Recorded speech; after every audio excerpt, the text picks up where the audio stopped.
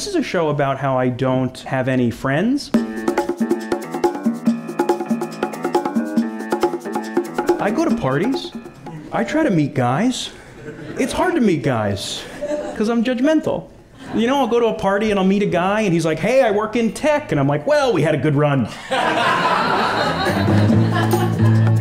You understand how much you have to talk about Stephen Sondheim's musicals 12 years ago in therapy for a mental health professional to call you on the phone? I picked up, I was like, David, I can't believe he's gone.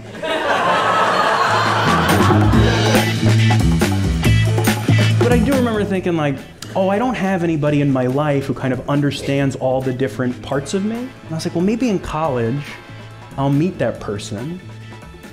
And then I did. Meeting Tom was kind of like getting premium cable. I was like, this is not TV, this is HBO.